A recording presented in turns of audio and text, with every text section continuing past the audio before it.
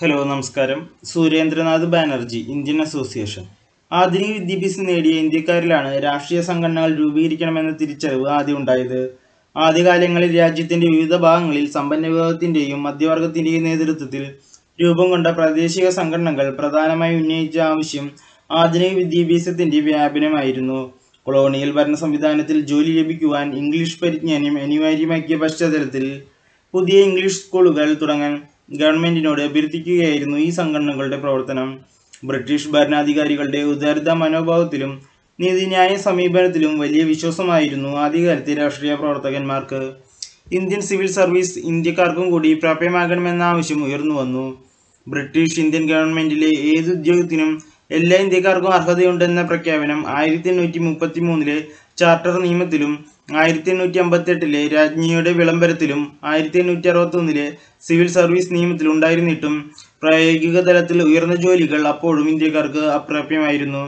ആയിരത്തി എണ്ണൂറ്റി അറുപതുകൾ ആയപ്പോഴേക്കും ഉന്നത വിദ്യാഭ്യാസം നേടിയ ഇന്ത്യക്കാർക്കിടയിൽ ഉയർന്ന ജോലി ലഭിക്കാത്തതിൽ നിരാശ വളരുകയും ബ്രിട്ടീഷ് ഗവൺമെന്റിനോടുള്ള അവരുടെ മനോഭാവത്തിൽ മാറ്റം വരികയും ചെയ്തു ഇന്ത്യൻ സിവിൽ സർവീസിലേക്ക് തിരഞ്ഞെടുക്കപ്പെട്ട സുരേന്ദ്രനാഥ് ബാനർജിയുടെ നിയമനവും പിരിച്ചുവിടലും ഈ എതിർമനോഭാവത്തെ കൂടുതൽ ശക്തമാക്കി കൽക്കട്ട യൂണിവേഴ്സിറ്റിയിൽ നിന്നും ബിരുദം നേടിയ Surendranath Banerjee Indian civil service പരീക്ഷ എഴുതാനായി ലണ്ടനിലേക്ക് പോയി പരീക്ഷ എഴുതി പാസ്സായെങ്കിലും അദ്ദേഹത്തിൻ്റെ പ്രായത്തെക്കുറിച്ച് സംശയം ഉണ്ടായതിനെ തുടർന്ന്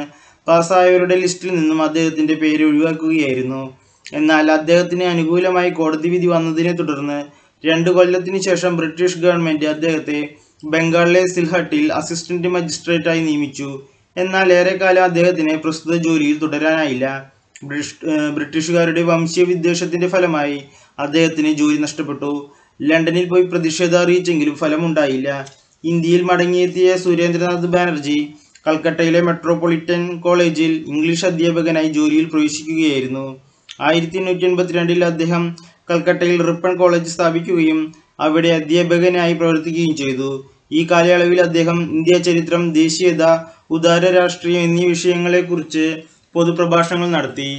പൊതുപ്രവർത്തനത്തിന്റെ തുടർച്ചയായി ആനന്ദമോഹൻ ബോസുമായി ചേർന്ന് സുരേന്ദ്രനാഥ് ബാനർജി ആയിരത്തി എണ്ണൂറ്റി എഴുപത്തി ആറിൽ കൽക്കട്ടയിൽ ഇന്ത്യൻ നാഷണൽ അസോസിയേഷൻ എന്ന സംഘടന രൂപീകരിച്ചു ഏകീകൃത ഇന്ത്യ എന്ന ആശയം അടിസ്ഥാനമാക്കി രൂപീകരിക്കേണ്ട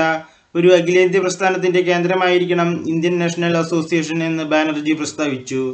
ഒരു പൊതുരാഷ്ട്രീയ പരിപാടിയുടെ പേരിൽ ഇന്ത്യക്കാരെ ഏകീകരിക്കുക പൊതുജനാഭിപ്രായം രൂപീകരിക്കുക എന്നിവ സംഘടനയുടെ ലക്ഷ്യങ്ങളായിരുന്നു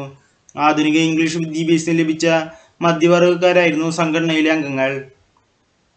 ഇന്ത്യൻ സിവിൽ സർവീസ് പരീക്ഷ എഴുതാനുള്ള പരമാവധി പ്രായം വെട്ടിക്കുറയ്ക്കാനുള്ള